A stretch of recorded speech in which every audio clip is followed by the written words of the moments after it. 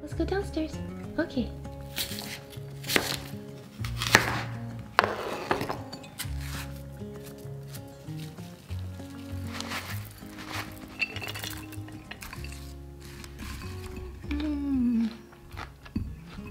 It feels so good to be back eating my fruit bowl again. It's been over a month since I've made this for myself and mm, it's just so good. It's like returning home.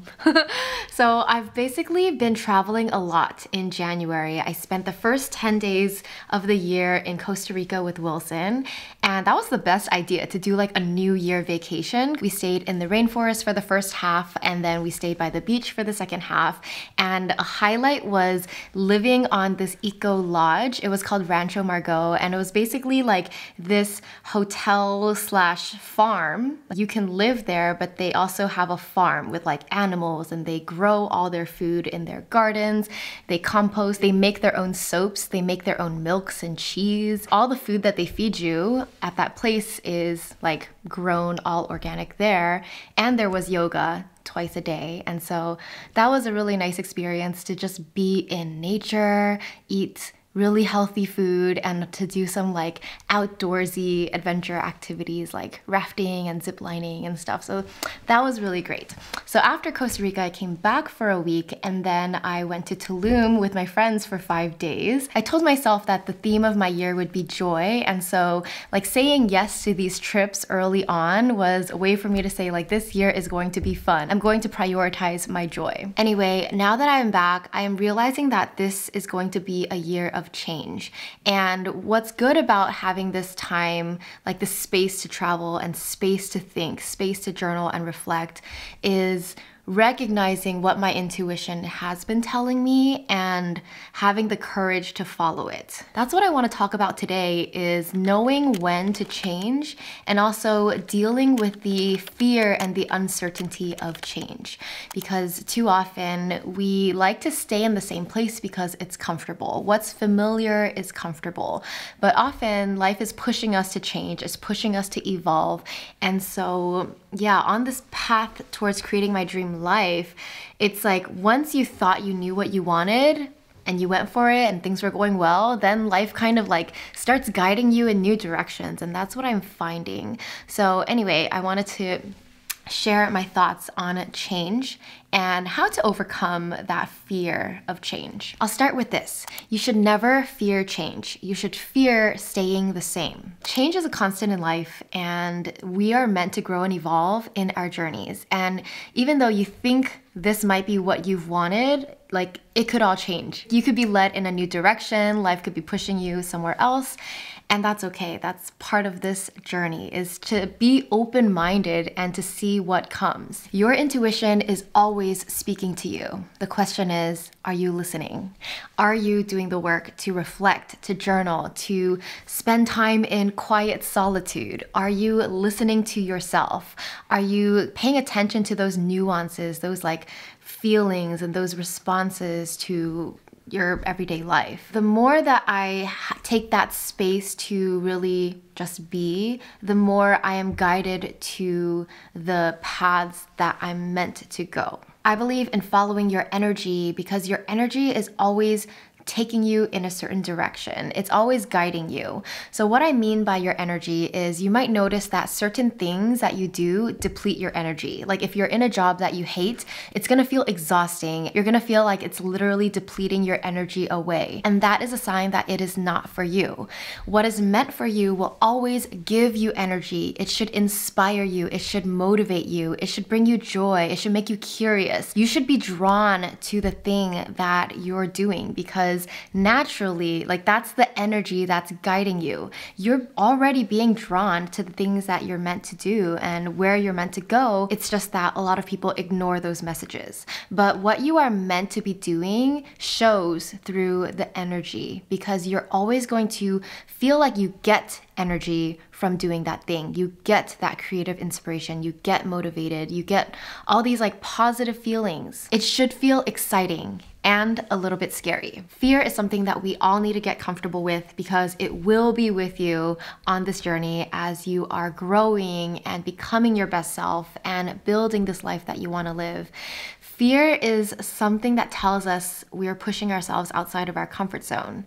And I've been realizing that the worries that I have about my life and my career are rooted in that fear the fear of uncertainty, fear of if I don't do the same things or if I don't have the same things, then then what? I don't know what else there is or what is in that openness and that is what's scary. And so that's what we tend to run away from. We tend to stay doing the things that are the same because they're comfortable and we know what's going to happen if we do them. But if we stay in the comfort zone too long, we start to get that internal feeling of like boredom, apathy, your motivation starts to drop. And these are all signs that this is not meant for you anymore. You're meant to push yourself to do something else or to explore something deeper, like expand yourself. So recognize the fear.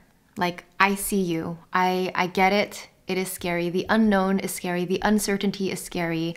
But have trust. Like, have faith that everything is going according to this greater plan that you cannot see, right? You cannot predict what's meant to happen, but you have to trust that the universe is taking you to where you're meant to go. And you won't see the destination all the time, and that's okay.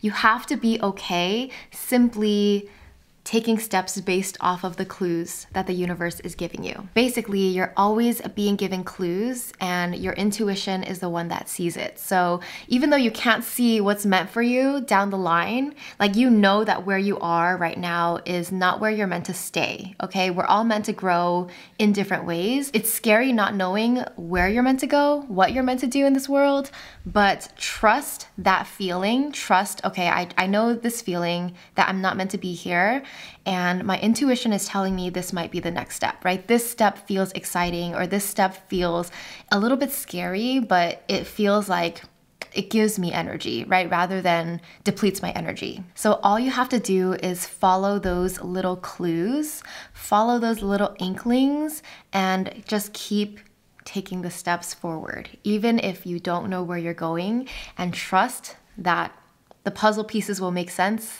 at the end it will all unfold and you'll be like, aha, like I get it. It all made sense after the fact. This topic has been on my mind because I feel like I have been shifting. I have been guided in new directions for the past few years. I've been in like this transition period where I'm still kind of holding on to what I have and I'm still trying to do what I'm doing, but I, I have this like more of my energy and more of my motivation is towards exploring new areas, right? New ideas. I've been making content for over a decade. This year, this spring will actually be 10 years of Lavendaire. And when you're doing anything for 10 years or longer, like I don't know. I just feel like there must be some change. There's got to be some evolution there.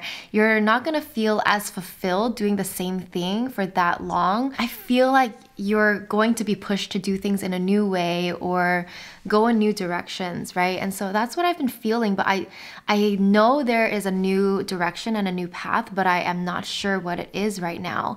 And for the time being, I'm still going to do what I do. I'm still going to make content, but I I feel less and less energized from being on social media and making content consistently as like a content creator. Social media has changed so much and I have not been been resonating with like the quick paced, short form, quick tips and hacks types of TikTok videos that are really popular. I just feel like people's attention spans are just getting shorter and shorter and shorter.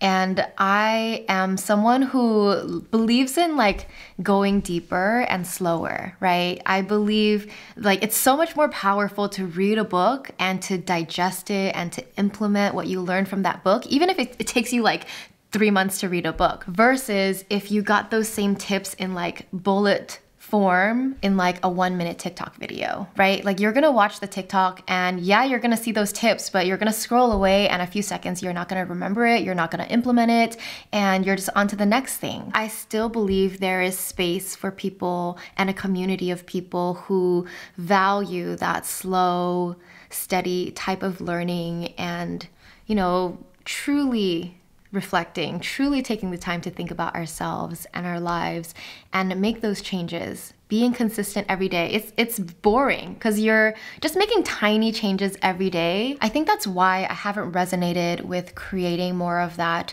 quick social media new style of video because I don't like to be on TikTok or Instagram myself so why am I trying to make content that I wouldn't watch myself? I love watching YouTube videos. I love watching deep dives. I it's so funny my interest now because I'll watch 1 hour long astrology videos, I'll watch hour long finance videos or videos about the economy and my interests are definitely like different, right? Now versus when I started this channel 10 years ago. Anyway, the path of me creating my dream life, that's still something that I love. It's still something that I love to talk about.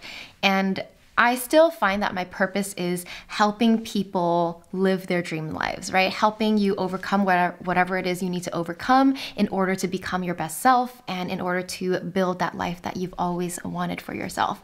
So I've always done that in different forms through videos, through my products like the workbook. I still think that that is my mission, but I think that there is like a new level that I'm being called to do that. When you're being a content creator, you're you're kind of on this hamster wheel of creating content every single week. If you're on TikTok or Instagram, you're trying to create and post every single day.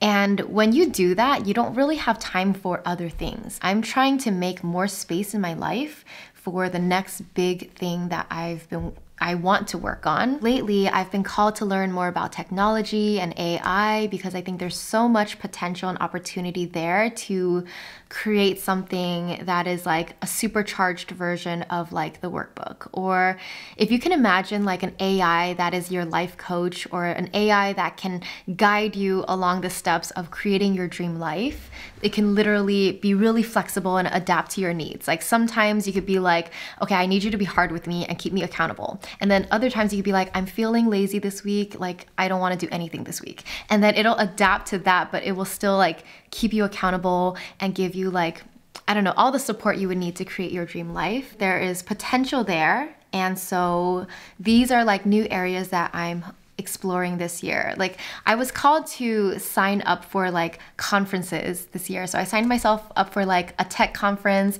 and then an AI conference in June.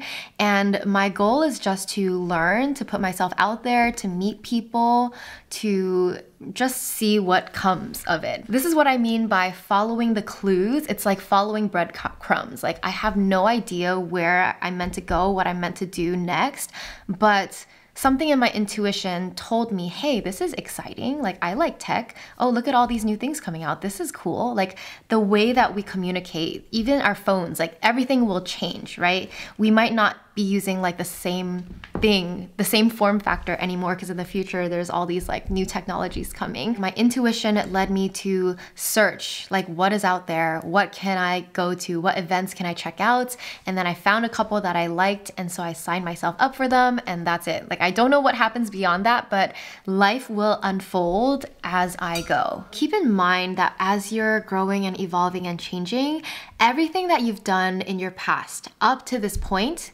is valuable. Everything will be used. Your knowledge, your experiences, the skills you developed, all of that will be used to the next thing.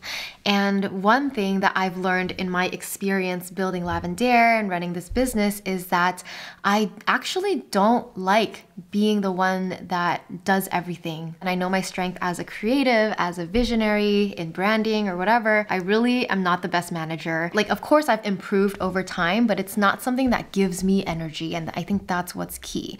So I think the next thing that is my next project, I'm hoping, I'm manifesting, putting it out there that I will meet people that I can collaborate with like to form a partnership with where I can contribute my strengths and then they have their strengths and resources. And I think that is the ideal scenario that I am looking for. So that's as far as I know right now. is that I know I don't want to be CEO of another business, but I want to be part of a new business idea that is still related to my mission of helping people achieve their dream life but in a new way with new technology. That excites me because it's something new that I can look forward to. It's a new challenge, it's a new area, a new field to learn and to study about. And if I were to like set my goal as, oh, I want to grow my Lavendaire channel and be the best content creator, then I would have to make more videos, like post on TikTok and this and that. And to me, that social media hamster wheel, it just wasn't resonating with me anymore. It's not motivating me anymore. I love using content as a way to express myself and to share what I've learned, but I'm not gonna create content that I wouldn't watch myself. I'm not going to try to pump out so much short form content. I mean, first of all, I, it just doesn't give me energy at all. It doesn't resonate with me at all.